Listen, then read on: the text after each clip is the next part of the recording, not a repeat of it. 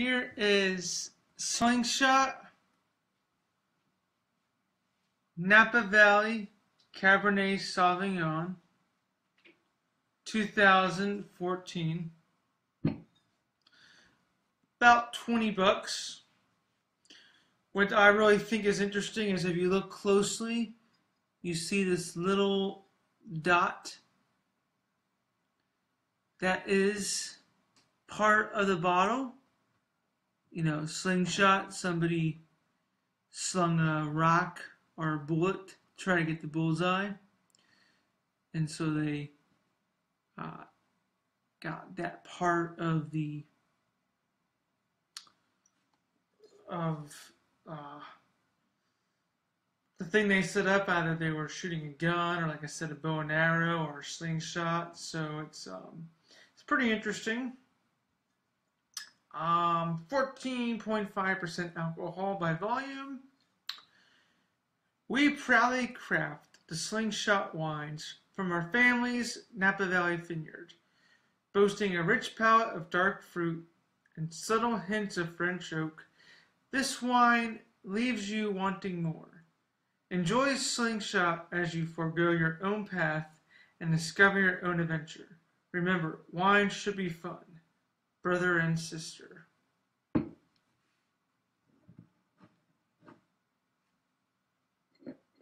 Here's the wine in the glass.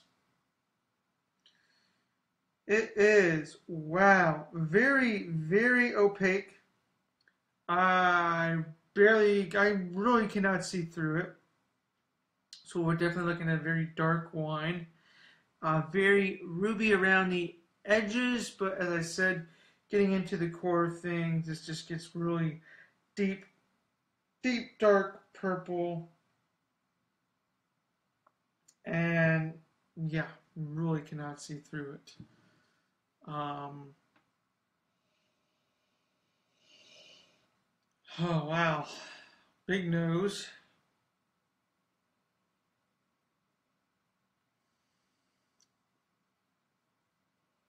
Getting like blackberries, a little bit of cherry, some plum. Getting a little bit of hints of, of vanilla. So you definitely get that oak resonance on there.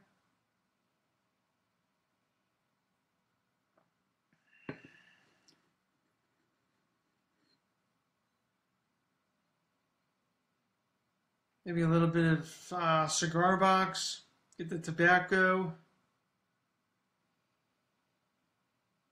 cassis,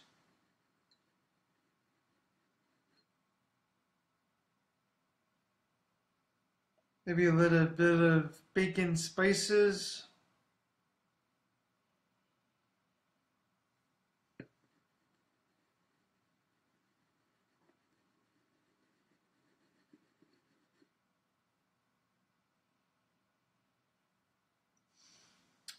Hmm.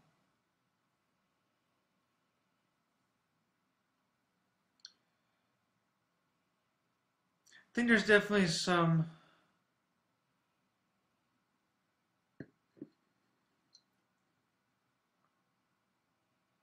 some other spices playing off of this. I can't quite pinpoint them. Kind of is drawing a little bit of heat probably from the 14% alcohol, so you can definitely smell the alcohol.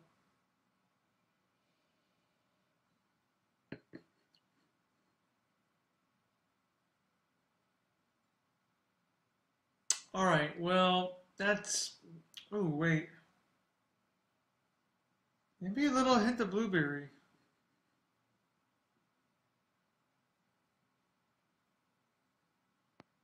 Maybe just a whiff of that. Maybe a little bit of espresso as well. Yeah, those are kind of coming through for me. All right.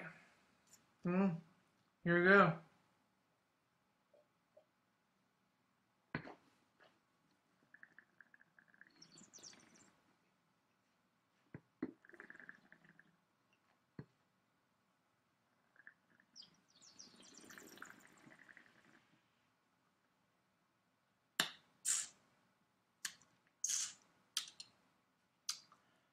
Let's do one more sip.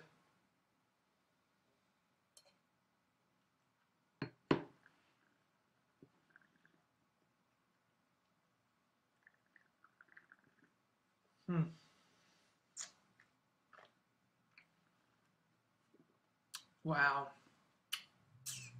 Wowie, wow, wow. Huh. Has a light jamminess to it. Nice, rich berries. Uh, get that cherry, a little bit of blackberry, a little bit of um, plum.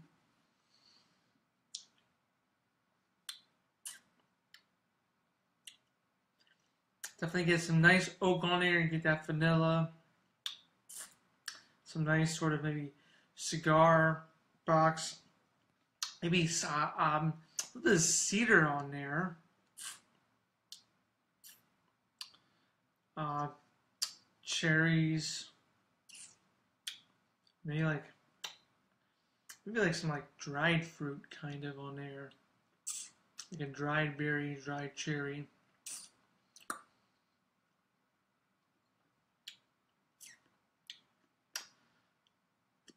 Maybe maybe a um, a raisiness flavoring as well. Maybe like a little bit of sweet raisin on there.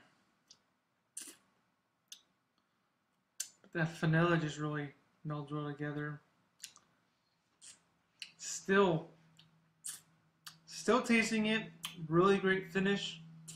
Really getting um, that vanilla is still sort of playing in there. Those berries are really still playing in there. In the back, I'm sort of getting this sort of nice, mellow, gentle, sort of just tingling feeling in the back. Um, definitely a big wine. It is a very big um, wine with bold flavors. Um, as I mentioned, you do, do definitely get that grip. Uh, kind of a little bit of bite on there from uh, probably those baking spices uh, that I mentioned. Um, it is relatively smooth going down. Tannins are really not harsh at all. So it is a smooth wine. It just has really potent, bold flavors.